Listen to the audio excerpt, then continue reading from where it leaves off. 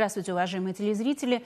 В эфире Новгородского областного телевидения программа «Диалог». В студии Светлана Стирлигова. А в гостях у нас сегодня главный врач Центра «Хелпер», заслуженный врач Российской Федерации Магомед Асадулаев. Здравствуйте, Магомед Рабаданович. Добрый день, Светлана. С 27 ноября по 3 декабря э, на всей территории России э, прошла акция «Стоп ВИЧ-СПИД». Э, в рамках э, вот, Дня борьбы со СПИДом, который отмечается, как правило, 1 э, декабря. Вот в связи с этим хотелось бы узнать, какова ситуация вот именно с этим заболеванием, вот с этой проблемой, как у нас в России, так и в Новгородской области в частности. Действительно, вот массовая акция, она началась 27 числа. Мне посчастливилось быть на открытии этой акции в Москве, где социально-культурных инициатив вот Медведевой вместе с Минздравом открывали форум для работников центров СПИД, а дальше уже были и отчеты о достижениях, и задачи, которые предстоят перед нами по противодействию распространению ВИЧ-инфекции. Проведение этих акций оправдано, потому что это говорит об осознании проблемы обществом. Проблема действительно серьезная – серьезная, потому что количество ВИЧ-инфицированных у нас э, более миллиона. В России? В России. И ежегодно умирает около 20 тысяч, тоже ежегодно. И, к сожалению, наша страна является третьим в мире по количеству выявляемых ВИЧ-инфицированных после ЮАР и Нигерии. И последние пять лет отмечалось увеличение количества ВИЧ-инфицированных 10% ежегодно. Вот, поэтому в прошлом году была принята стратегия противодействия распространению ВИЧ-инфекции, где намечены конкретные мероприятия по противодействию распространению ВИЧ-инфекции. И подчеркнуто, что проблема эта серьезная, это не только и не столько медицинская проблема, это серьезная медико-социальная проблема. Почему? Потому что, э, во-первых, болезнь неизлечима. Болезнь неизлечима, хотя в последние годы появились лекарства и возможность лечить пациентов есть, но это лечение дорогостоящее, и принимать ее нужно пожизненно. Это первое. Второе. Эпидемия распространяется так, что если в начале эпидемии а, она возникала среди потребителей инъекционных наркотиков, среди э, людей с нетрадиционной сексуальной ориентацией – Теперь она вышла из групп риска, и э, преобладающим путем инфицированный становится половой путь. В этом случае в зоне риска оказываются все, все люди, все жители нашей страны огромной. 87% людей, которые инфицированы, они экономически активные, то есть трудоспособные, люди трудоспособного возраста увеличивается количество женщин инфицированных. Это влияет вот, на рождение детей. И здесь тоже э, проводится целенаправленная работа для исключения э, путей переда... вертикального пути передачи. Поэтому вот, э, осознание обществом и проведение таких мероприятий направлены прежде всего э, на то, чтобы довести до людей э, возможные риски меры профилактики и что нужно делать для того, чтобы не заразиться самим и достичь положительных результатов в борьбе с этой эпидемией. А, ну вот, как вы уже сказали, в России на сегодняшний день больше миллиона, да, а, э, так сказать, носителей этого вируса и, так сказать, уже больных СПИДом э, людей. А в Новгородской области вот на сегодняшний день какое это число? Количество инфицированных, которые выявлены с момента, вот с 1991 года, с момента появления первого ВИЧ-инфицированного, у нас достигло 3431 человек.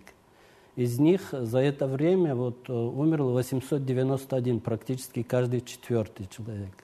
А в этом году за 10 месяцев выявлено 245 ВИЧ-инфицированных. А, год еще не завершился.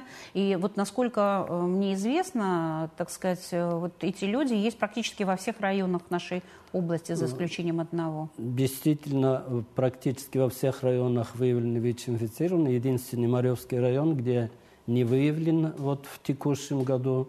А так ВИЧ-инфицированные есть во всех районах. Если говорить о пораженности, то есть это количество ВИЧ-инфицированных выявленных за все время, мы в северо-западном регионе занимаем где-то пятое место, посередине находимся. И э, основные регионы, где очень высокая пораженность и заболеваемость, это вот э, э, в субъекте Кемеровская область, Свердловская, то есть на Дальнем Востоке и Сибири. Основной путь там преобладающим до сих пор является потребление инъекционных наркотиков и вот прохождение этого а, трафика наркотического. А, ну, там все понятно. Одним шприцом, да, вот э, несколько человек.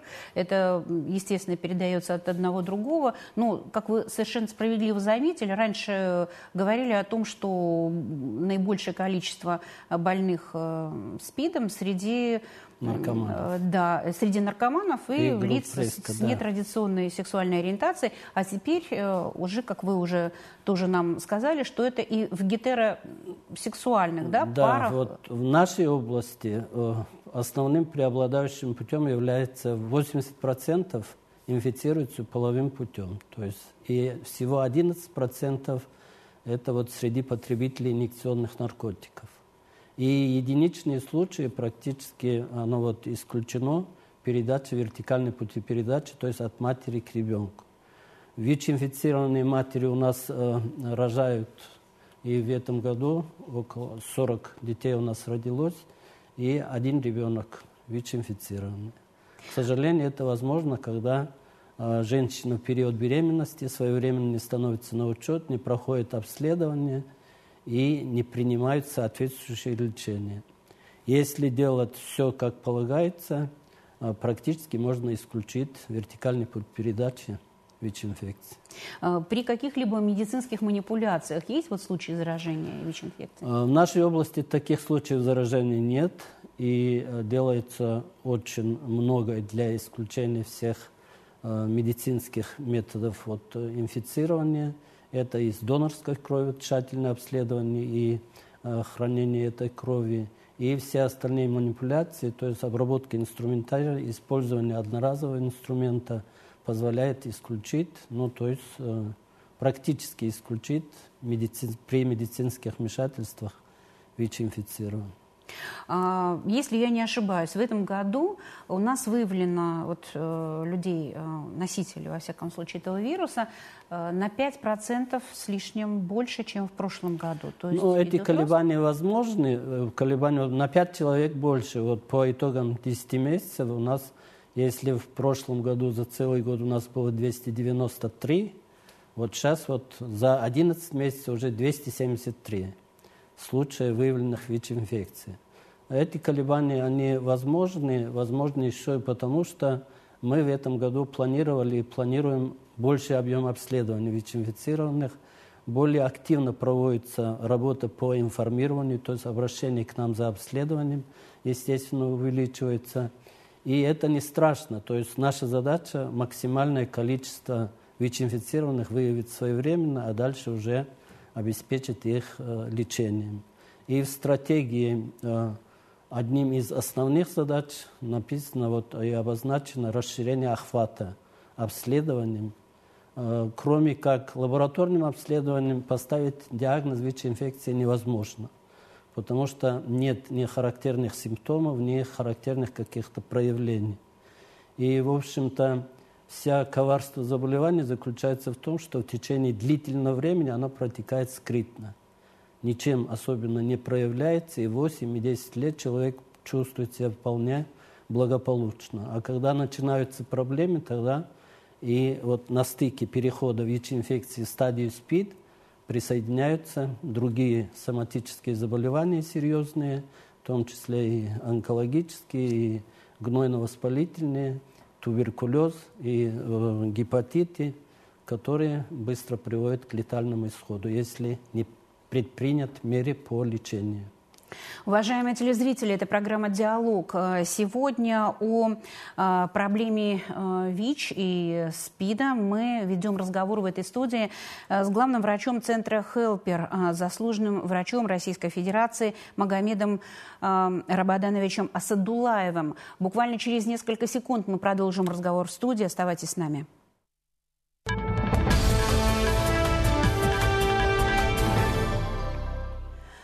Магомед Рабаданович, вы уже сказали, когда ВИЧ переходит в СПИД, да, то есть вирус э, поселяется в человеке, годами никак себя не проявляет, и потом вот э, вдруг э, иммунитет дает сбой, да, и уже можно умереть от элементарного насморка, когда уже СПИД разгорел. Вот скажите, пожалуйста, чем все-таки кардинально отмечает, отличается ВИЧ от СПИДа?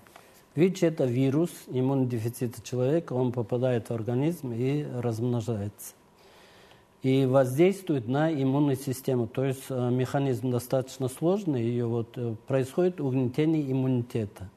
И наступает такая стадия, когда снижается сопротивляемость организма, и она становится восприимчивым к любой инфекции и к любым другим заболеваниям.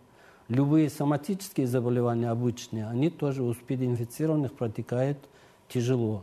И, в общем-то, отсутствие иммунитета – оно приводит э, очень быстро к летальным исходам, так как развиваются серьезные осложнения, требующие серьезных лечений. Но снижение иммунитета идет постепенно, да? Снижение иммунитета идет постепенно, ее можно уловить тоже путем лабораторных исследований. Но э, в некоторых случаях даже значительное снижение тех клеток, по которым судят об иммунитете, человек может чувствовать себя благополучно вполне, и это заставляет их э, думать, что это заболевание не касается их, они не обращаются, и, к сожалению, когда уже разыгрываются вот трагедии с присоединением серьезных осложнений, тогда бывает достаточно сложно, и э, больные требуют серьезного стационарного лечения в реанимационных отделениях с использованием дорогостоящих медикаментов. А в каком случае человек должен уже вот забеспокоиться? Либо это вот просто нужно для профилактики постоянно э, делать анализ, либо в какой-то определенной ситуации? Анализ делать э, желательно каждому и знать свой ВИЧ-статус э, хотя бы раз в год. Хотя бы раз в год. Тем более этот анализ делается э, бесплатно, и практически сдать на анализ на ВИЧ-инфекцию возможно в любом лечебном учреждении. Сейчас разработаны методики экспресс-диагностики, когда в течение 20 минут можно определить, есть ВИЧ-инфекция или нет. И сейчас э, в разработке еще находятся э, такие тест-полоски, которые позволят проводить самотестирование. Потому что для людей даже обратиться, допустим, в наше учреждение, просто обратиться, это раньше было проблемно, сейчас, правда, достаточно широко обращаются к нам и за сдачей лабораторных анализов самых различных, и в связи с тем, что у нас ВИЧ-инфекции определяют бесплатно, э, чтобы проводили самотестирование. В этом случае, в этом случае человек может, если э, определил или заподозрил, дальше за уточнением обратиться э, в профильные учреждения.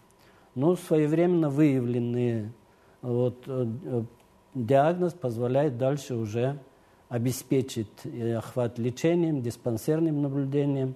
И в этом случае достаточно много людей, которые не воспринимают диагноз, считают, что это ошибка, больше прислушиваются к тем, которые говорят, что нет э, ВИЧ-СПИДа, то есть и СПИД-диссиденты у нас есть, те, которые активно продвигают идею, что это выдуманная проблема, проблема для того, чтобы выкачивать деньги фармацевтические компании и прочих.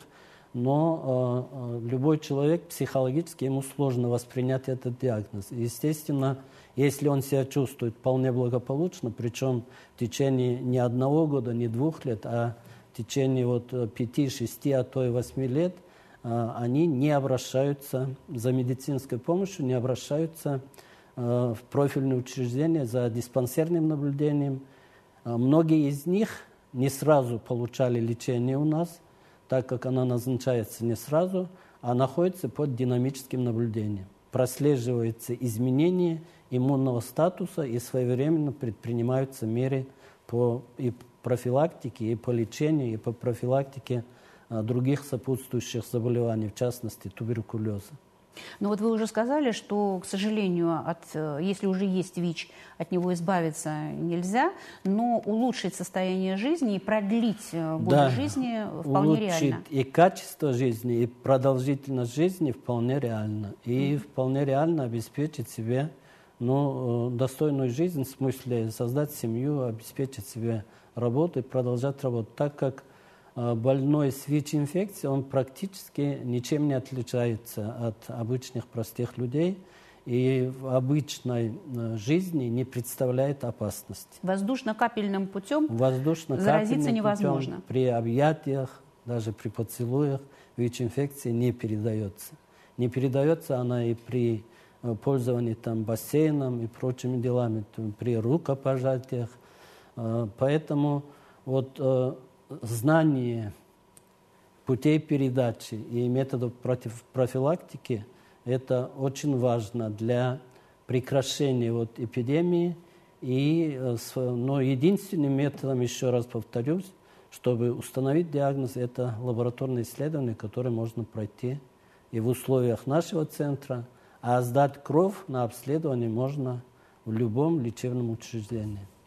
А вот среди какой возрастной э, категории чаще всего у нас вот такие Если в начале эпидемии основной категорией была, была молодежь и наркотический путь инфицирования, сейчас происходит взросление эпидемии, и основная когорта, которая поражает, это люди 30-39 лет.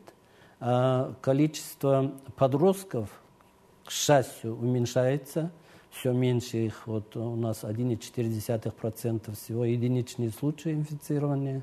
А в основном это люди трудоспособного возраста. А самый возрастной, о котором писали в этом году, 98 лет, Свердловской области мужчина, который инфицировался половым путем. Поэтому возрастного ценза не существует, то есть, к сожалению, могут инфицироваться и новорожденные дети, и люди разных возрастов, но вот э, путем обследования и своевременного выявления облегчит и улучшит качество жизни, это возможно. Угу. Ну вот если я правильно поняла, да, то заразиться можно через жидкости биологические, да? Кровь, молоко материнское, да. грудное и секреты половых желез. Да, поэтому здесь вот э, основные пути, они связаны в том числе попаданием вируса в эти жидкости или сетях жидкостей, при внутривенных э, инъекциях различных и при потреблении наркотических средств одним шприцом от инфицированных или при проведении различных э, манипуляций нестерильными инструментариями. Это вот э, различные и педикюры и прочие вещи, которые проводятся. Там тоже это возможно, потому что попадание через кровь. Ну а с молоком матери детей, которые рождаются от ВИЧ-инфицированных матерей, их не прикладывают. Исключают грудное вскармливание и вскармливают искусственно. И этим самым тоже исключают передачу ВИЧ-инфекции на стадии грудного вскармливания. Э, ну вот э, если мои наблюдения верны, да, вот я знаю, что сейчас в молодежной среде, недаром вы сказали, что среди подростков вроде уменьшилось количество угу. заболевших, даже, э, так сказать, рок-музыканты ведут такую вот пропаганду, да, против СПИДа, против наркотиков и так далее. Может быть, это тоже сыграло Это, естественно, роль? сыграло. То есть молодежь, она более информирована, в том числе в этих вещах. И поэтому но и с другой стороны, ведь э, потребление, даже если инъекционные наркотики э, стали намного меньше, появились другие, которые потребляются вещества. Э, естественно, потребление их может способствовать более широкому распространению полового пути вот, из-за изменения поведенческого. И, но то, что перешло оно вот во взрослые группы, это связано с тем, что люди в возрасте, они менее информированы, в том числе о путях передачи и о мерах профилактики. Спасибо вам большое. Спасибо за то, что вы нам сегодня все это рассказали. Спасибо вам, уважаемые телезрители, за внимание к нашей программе. Будьте здоровы, берегите себя и своих близких. Всего доброго. До новых встреч.